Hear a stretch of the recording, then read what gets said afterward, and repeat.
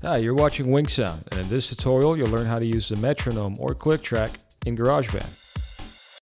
The metronome or click track is used to help musicians keep in time when recording their parts. To listen to the metronome, we go to Control and click on Metronome. Now when we hit play, you're going to hear the metronome count in and then sound on every beat. I ain't gonna dig up too far back. Now we could enable the metronome to be heard during recording as well as playback. Now to define the way the metronome is going to work, go to GarageBand, Preferences, and under the General tab, you'll see metronome options. Here you could set the metronome to play only during recording or to be heard during playback and recording.